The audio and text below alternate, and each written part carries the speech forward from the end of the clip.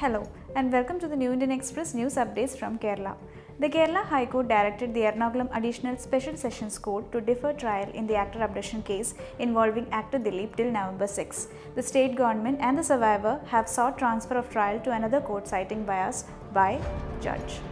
Priyanka Radhakrishnan, who became the first ever Indian Minister of New Zealand, has her roots in Paravur in Ernakulam district.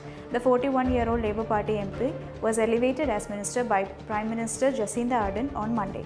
Priyanka is the daughter of Paravur, Madavana, Parambat Raman Radhakrishnan, and Usha. She was born in Chennai and completed her studies in Singapore. The State Vigilance Team probing the Life Mission scam has named Chief Minister's former Principal Secretary M. Sivasankar as the fifth accused. Gold smuggling case accused Swapna Suresh, Sandeep Nair, P.S. Sarith and builder Unitac and Sane Ventures have also been named as accused. Binoy Kodiyeri has approached the Karnataka High Court seeking permission to meet his brother Binish Kodiyeri, who has been arrested in the dark cartel case in Bengaluru. He alleged that the ED was not permitting Binish to sign bail application.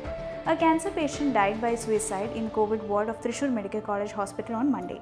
55-year-old PN Srinivasan, a native of Mudavara in Thrissur district, was found hanging in the ward. Kasargod MP Rajmohan Unnithan has called off his indefinite hunger strike, demanding opening of the 550-bed COVID hospital donated by the Tata Group. Meanwhile, people have launched a relay hunger strike in front of the district hospital, which has been turned into a COVID hospital. Protesters demanded that the district hospital be made a normal hospital now that the district has got a dedicated COVID hospital. That's all for now. Please join us again for the evening bulletin on developments in Kerala. Thank you.